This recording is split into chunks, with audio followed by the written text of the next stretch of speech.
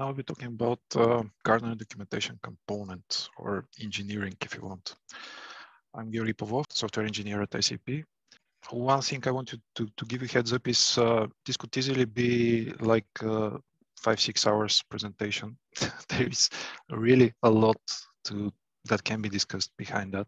I fully realize that. I'm going to try to squeeze this in some 20 minutes just to you know give you the feel of what uh, what is there and what could be there. So my play is that uh, just feel free to to jump back, uh, get in touch with me and my colleagues Phelan, with uh, whom we've been working. Uh, uh, head to head together for the last months on this project feel free to, to reach out to us to, to discuss uh, the opportunities here and uh, you know if uh, if you have some thoughts about what you're going to see. With that in mind, let's jump in jump in directly into the topic. A brief uh, travel back in time, uh, circa September 2020 uh, around which uh, we actually started heavily investing into engineering the documentation process. We basically took a minute, well, it was not a minute, it was quite a lot more, but uh, uh, figure of speech, you know, we took a minute to um, assess the situation back then and where, where we want to go uh, without any limitations. Um, at that time, basically we had uh, a significantly dispersed documentation all around uh, multiple repositories. That was the reality. We had uh, a single mono repository, the Gardener documentation repository, where the documentation was largely Gardener core centric. Um, but there was also a myriad of documents that were all around the Gardener organization repositories. Um, in fact, there was uh, also in a lot of internal documentation in SAP. So all this made it uh, kind of a pain point for somebody looking for information to just land on the most uh, obvious place like gardener.cloud and uh, find the documentation for the component that they need to. Well, in fact, they wouldn't be able to, even if they wanted to, simply because uh, at that time the, the documentation was, as I said, uh, largely Gardener centric. So if you were looking for some documentation about a particular extension, you had to go like to the extension repository.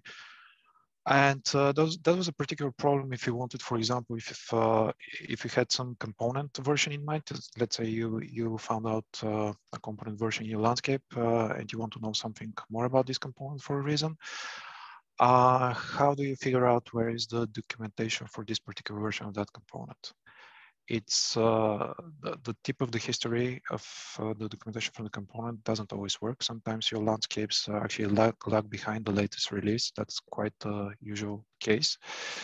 And even if you wanted, you just had to actually go to the Gardener organization, explore the documentation there, and eventually find the, the repository and eventually find the version for, for the documentation and drill down into it. Now add to the mix also uh, internal repositories, which makes it uh, even harder and so on and so on. Uh, and why is reproducible state of component documentation? I hope it's pretty visible. It's uh, at, at, the minimum, uh, it's uh, sometimes uh, what are bitters if something is a feature request or it's a bug report. Obviously, when something is described to be functioning in a, prop, in a certain way and it's not uh, behaving like that, it's, it's a bug, or it's a regression or something that you, you need to prioritize accordingly. If it's an enhancement request, you can prioritize differently. So it's uh, it boils down to also to, to, the capacity of the people and the right prioritization and stuff like this. Can go even further, but uh, let's continue here. So um, another pain point uh, that emerged eventually was um, that we wanted actually to reuse this documentation. That's that there was a huge amount of documentation, but we wanted it reused instead of rewriting it uh, for different uh, different publishing channels. So one obvious publishing channel that was uh, the Gardener.cloud site. Lots of the documentation, as I mentioned, is uh, not on the repository that is intended to, to publish on, on the Gardener Cloud actually website, but it was intended uh, to publish on a different channel. That's GitHub itself. That's the documentation that resides on the component repositories themselves. And uh, for example, for SAP as a stakeholder to the Gardener project, uh, it, there was a necessity also to, to bring uh, this external documentation internally in-house so we, so we can reuse it instead of uh, you know copying it and uh, losing uh, connection to to the to the outside with it. Um, but as you can guess, uh, all this comes along with uh, its own technology stack uh, and demands. So in a word, documentation that's been designed to work on GitHub wouldn't work for uh, uh, something that's published with Hugo, like uh, the Gardener.cloud. It wouldn't work also for something that's needed to be published internally, not only because of the technology stack, by the way, but also but because of sometimes of the content uh, content itself, uh, the, the, way things are presented. Let's say for governance rule, you wouldn't want, uh, let's say, some pull requests or issues quoted directly inside. You want to change links and stuff. Anyway, it's in word, it's it's a nightmare to to maintain multiple publishing channels and technologies uh, from a single source. Although it's it's an obvious uh, obvious great great approach. Um, all this actually boils down boils down to to several simple things. It's it's how you scale. I mean, obviously, human human um, human resource, uh, or let, us not call it call us human resource, but humans are expensive, and um, we should invest our efforts uh, mostly in creative tasks, not uh, you know copying files from here to there, uh, restructuring uh, links inside because of that uh, doing uh, some manual transformations, uh, importing things manually, all, all, this boring stuff, that's that's not for humans. This is for machines. I mean, come on, we are all cloud native here. We are, what about, uh, you know, automating code things that can be automated uh, and, and in a word, we decided that this is how we want actually to approach all these problems.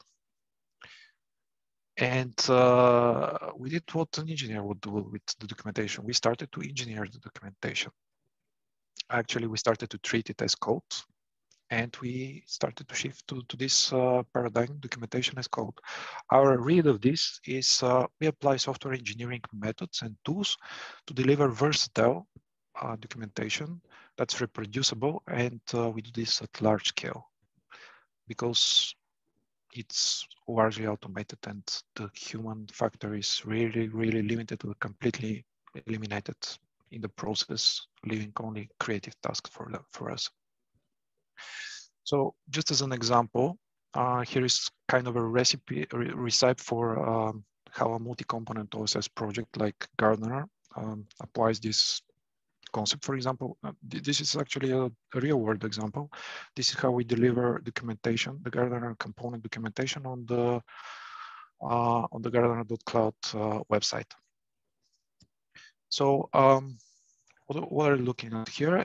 There are several stages basically uh, that everything goes around and they're orchestrated by uh, continuous integration, continuous development, CI/CD basically. In our case, this is Concourse uh, are concourse. And uh, the stages are as usual, the design and release and build uh, stages and finally publishing. So things start as usual on your desktop when somebody wants to, to design documentation. That's, let's call these guys content producers. Uh, they want to, to design some documentation. Um, then you employ the, the usual, uh, you know, GitHub uh, collaborative pull request process with peer reviews, discussions and stuff. Uh, of course, you use Git for versioning and everything. Um, and uh, you can use your favorite IDE for designing uh, the, the documentation, for, for producing the content for it. Uh, and all tools that you want to, you know, ensure quality control and stuff. Uh, but we we also provide uh, a ready-made collection of tools that comes in very handy for for this task, for linting your documentation, for checking dead links, for spell checks, all these, you know, uh, trivial things that you need to, to accomplish before pushing something uh, that's called documentation and it's readable and nice. Um, it's meant to be, uh, it can be used locally, but it's uh, also meant to be uh, usable um, as part of, uh, you know, the, the usual pull request merge process as a quality gate, for example, as I said, to, to lint your documentation and check for errors, trivial errors for it before merging and this is uh, how it's used. Uh, essentially, eventually your, your documentation makes its way to uh, the component where that, that it describes, that's uh, another change. We we want you to to use uh, you, you know to to realize the documentation exactly uh, the components that it describes. It's it's going to reside in the uh, in the component repositories. We're going to take care to move it around wherever we we need it. Uh, and by we, I mean the, the, tools that are employed on, on later stages. Something I also want to mention here is that um, something that changes that now we, we want you to think about the documentation in a publishing agnostic way. You, you don't need to care uh, how this is going to publish, the technology that, that is going to be used for that. You are going to write a completely normal markdown. Uh, I, mean, so far we occasionally used uh, the so-called uh, Hugo shortcodes. Uh, that's uh, this particular technology that we're using for you know publishing uh, sites uh, employs for making up for the for markdown's uh, simplicity. But that's no no longer the case. You, you just write pretty normal markdown. The the flavors that we support is uh, CommonMark and largely GitHub flavors. So you should be good with it. And uh, most of the tools out there out there will happily support you in previewing what uh, what you're producing all that is in the domain of the content producer. Once the documentation makes its way to the component repository, uh, there is another row. We have a sort of a separation of concerns here. There is another role that could, of course, be the same person, but uh, it could be also another team or something, uh, or even a different organization that takes care of uh, describing, modeling how this documentation is going to be actually materialized uh, and published. So and this is why we call them publishers. Um, in the example here and in this recipe, uh, we have uh, this model uh, right beside the documentation and the code inside the documentation repository versioned with it in this uh, .docforge folder as uh, manifest YAML. Inside you'll find basically uh, DSL that uh, is used to model um, where are your sources, what is the intended structure, uh, which are the rules for forging the component, uh, the links inside, um, and so on and so on.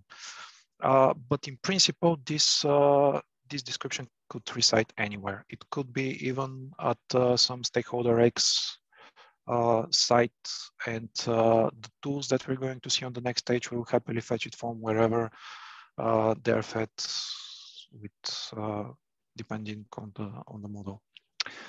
So um, anyway, so we have uh, the documentation sources at the, the Gardener component uh, repository. We have the, the manifest describing uh, an intended structure of it. Oh, and you can have multiple, of course, of this. You can have multiple manifests describing different um, different uh, structures because no, no single structure is sufficient.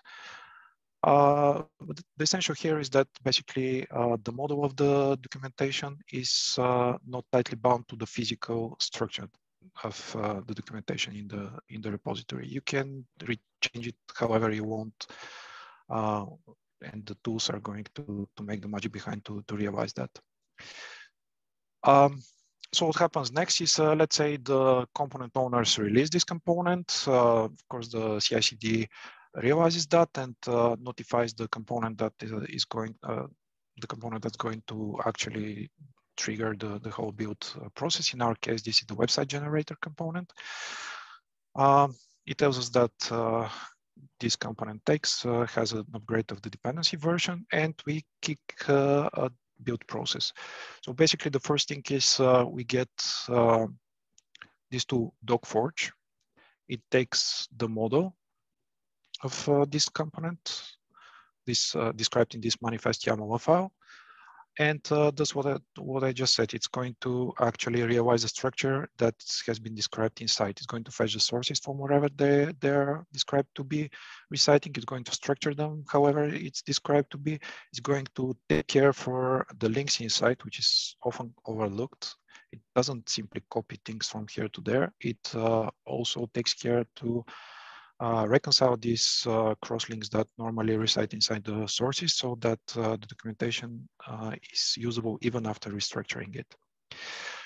And eventually you end up with uh, a bundle of markdown files structured according to, to the model. We feed them into the Hugo because this is our choice of website builder from Markdown to static HTML.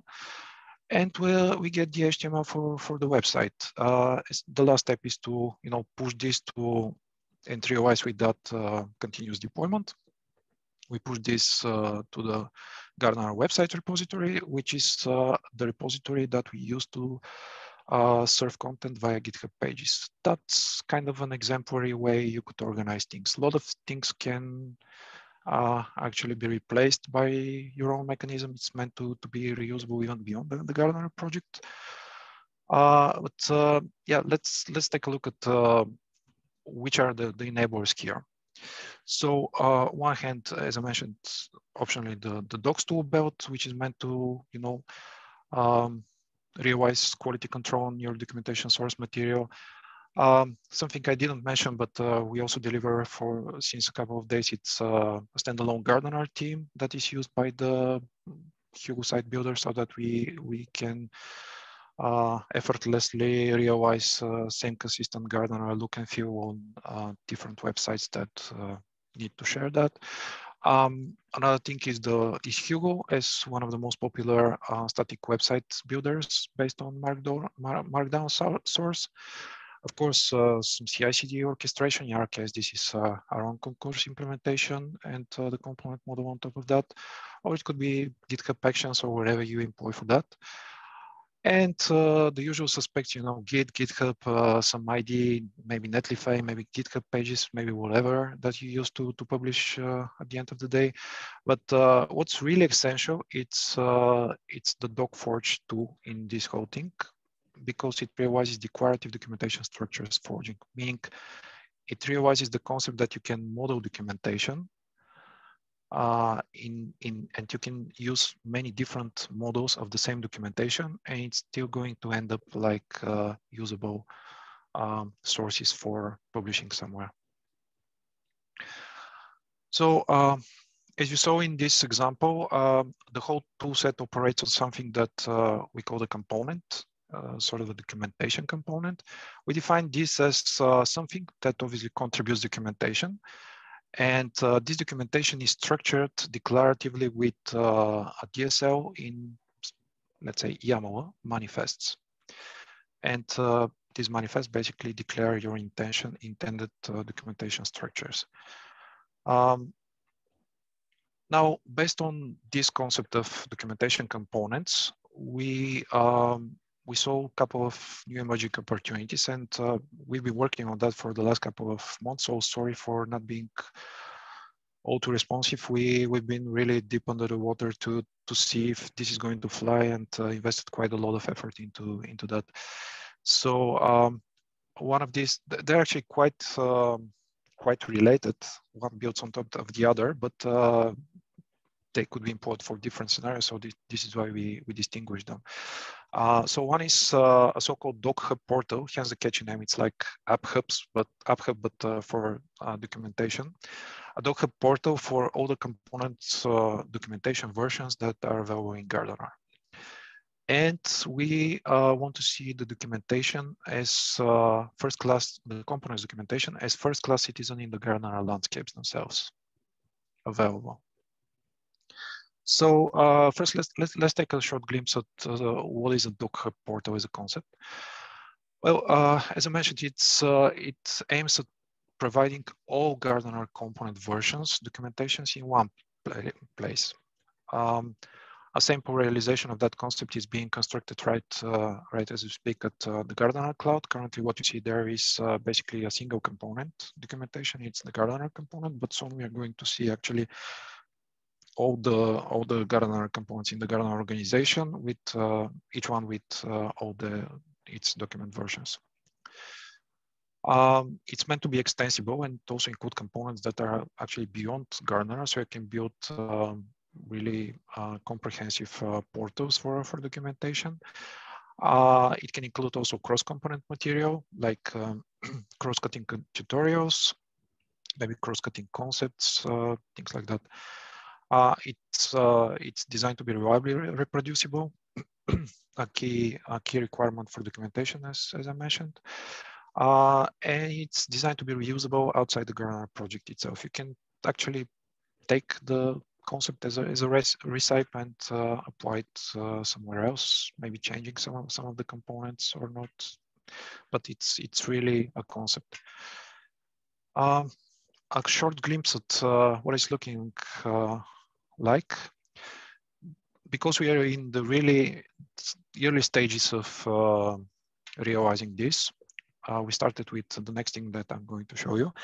Um, it's it's not very suitable for for a live demonstration right now. I mean, what you see here is uh, is not a Photoshop or something. It's uh, still somewhat live, but it needs uh, some manual intervention to, to make it work. And these are the things that we're going to defeat in the upcoming months uh, so we can have it completely automated. But at the end of the day, it's going to, to look something like this. So um, the Doc Hub itself, as you see, it's uh, it will be available on the Gardener.cloud uh, website in the documentation section. So what we call Doc Hub is basically the things that are under the components. Um, it's going to list all the components that deliver some sort of the documentation that are documentation components in the, in the sense that I just defined. Um, and uh, once you click uh, one of these tabs, for example, you're going to land on sort of a microsite that also lists, um, has a selector of uh, the versions for, for these components, so you can jump uh, between them. And uh, basically shows you the intended structure uh, delivered by this uh, this component that has been described in uh, such a manifest file that I mentioned earlier. The next thing, uh, it's in more advanced actually state. it's sort of a subset of this whole thing, the, the Doc Hub thing. Uh, is the documentation for the components bill of material in a particular landscape meaning uh, again it's going to to deliver the documentation uh, all versions not all versions but particular versions of the documentation only for the components that are deployed in the in a landscape. Uh, it's designed to be a gardener component so it can be optionally deployed or not in a landscape depending on whether you want or, or not documentation inside. Um, it declares itself uh, sort of a bill of material for the documentation components. That's uh, kind of a overlay on top of the component model of uh, the Gardener component model dedicated to documentation components. It kind of amends this with documentation aspect. Uh, and it's reliably reproducible. Basically, we uh, create the documentation uh, with every release of every component. We uh, create a snapshot of the documentation, and it's available as Docker images, that can be served not only in the landscape, but uh, in a completely different uh, environment or even with completely different technology. Uh, it can leverage the, it should leverage the Gardener component model and landscaper. So this is something that we hope to see in the, the future. I currently, uh, this is being validated inside uh, SAP because uh, there is no bill of material think concept that we can immediately reuse uh, right now, but uh, we hope with the advance of uh, the App Hub Landscaper and the Gardener component model together, um, the, the project is going to consider also the documentation uh, as code in the way that we deliver it and uh, effectively uh, make use of it and yeah, the things can be integrated.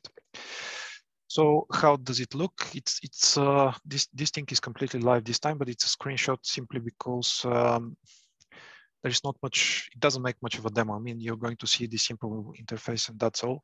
The whole magic happens behind the scenes, and uh, it's not, it's therefore it's not suitable for for demonstrating. And uh, this is exactly the way it should be. It's uh, silently silently does its job.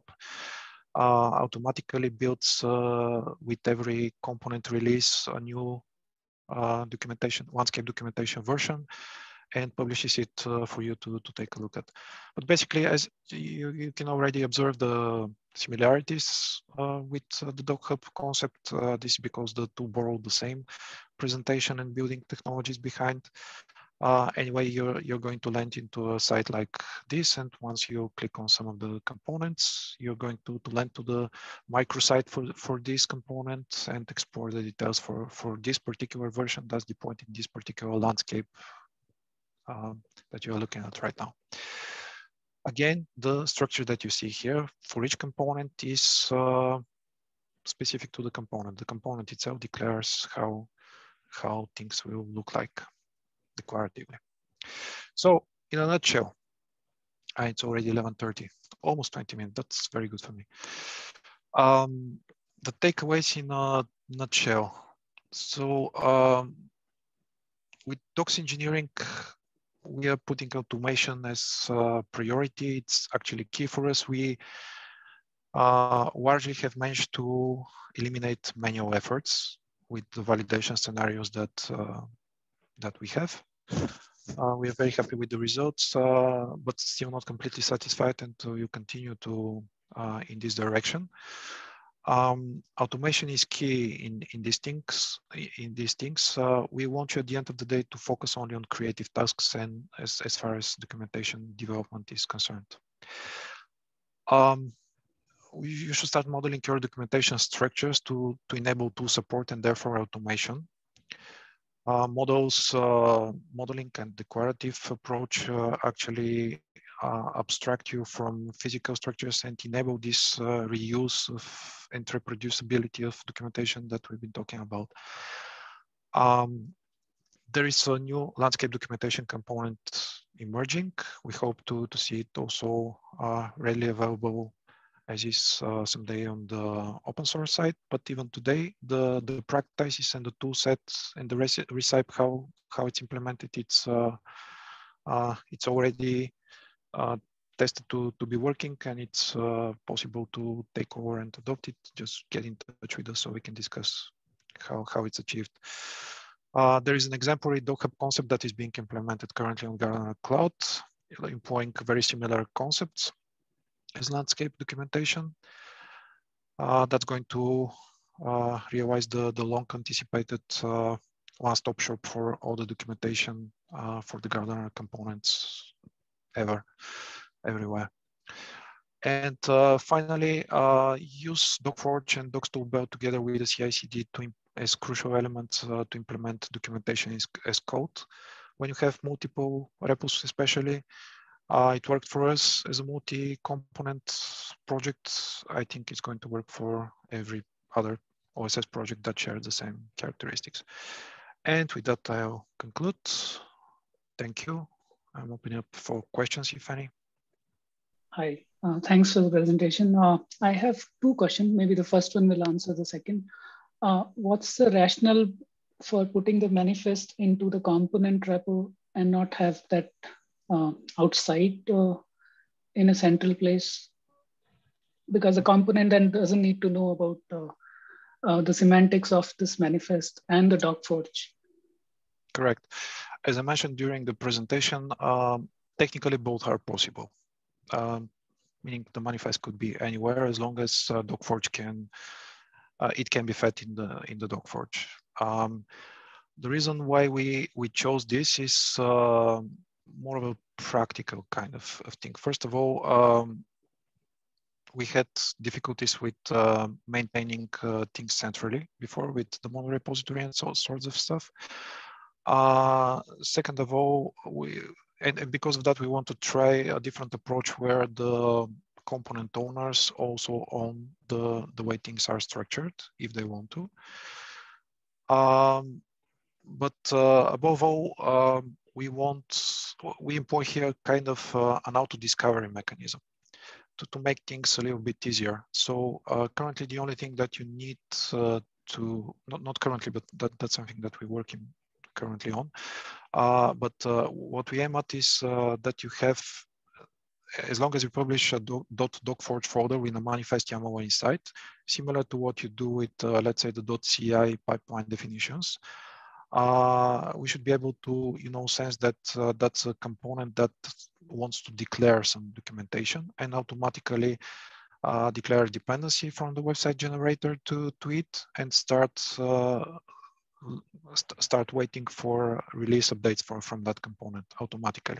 Of course, the other approach to maintain all this thing uh, in one big manifest or several manifests in the website generator itself is also possible, but it will require the manual effort from the component owners to, to go there and uh, you know update the this YAML file in website generator.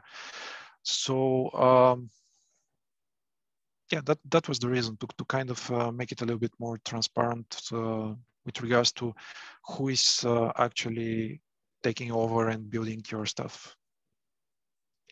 Course, it comes with uh, what you just mentioned. Um, in that way, the component owners need to know a little bit about, uh, you know, the DocForge DSL used in the manifests.